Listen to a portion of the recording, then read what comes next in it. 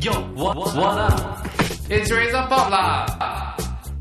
They are doctors, policemen, firefighters, emperors, and concubines. They make us laugh, cry, and fall in love with them. We're talking about these four TVB stars who swept into town recently, much to the delight of their ardent TV fans. For actor Michael Zido, fame is something new to him.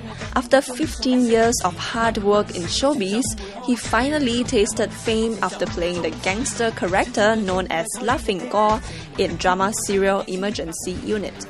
今天下午呢，刚刚抵达新加坡的我们的拉饼哥，现在每个人都这么叫你了吧？ 呃，大部分都是这样幸福我。哦，因为呢，其实谢天华好像啊、呃，刚才几天前才刚过生日哈，七月十五号，对不对？对，是，所以这一次有没有想过说，当初接到雪景狙击的时候，真的是你的代表作之一了，会不会有那种感觉？啊、可以这样讲，是一个很大的礼物啊，生日礼物啊。嗯，然后也拍了电影啦。对，呃，电影的是刚刚完，呃，拍完了差不多一个星期。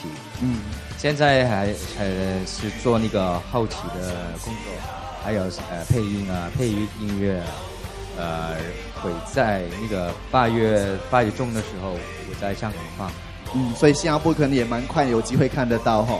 呃应该可以看得到。所以现在每个人问你的时候，是不是都拿着一个零钱啊？然后就哎，你觉得我应该要做什么事情？嗯，我现 啊，我现在家里有很多五块钱。哦，真的哈，港币五块钱就对了啦。对。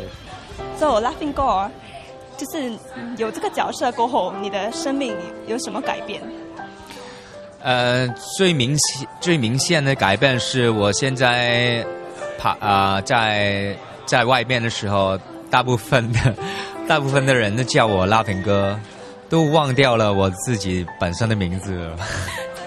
真的，你觉得为什么他这样受欢迎？这个角色？嗯，可能是他的性格，还有他气生的精神，啊、还有他，嗯，说说说笑话的时候那个神态，也是还有很多原因的。有这么大的反应，你会惊讶吗？开始的时候有一点惊讶，因为我没有预期这个角色是那么受欢迎。然后知道网上的反应很激烈，好多人去去为这个角色去流泪啊，觉得他死掉很可惜，所以我我我也有一点惊讶，去跑上网上去看看看看他们是反应什么。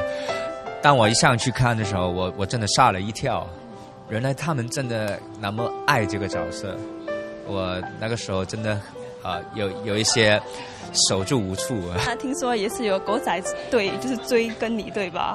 然后你怎么 handle 这个？怎么突然间有这个 attention？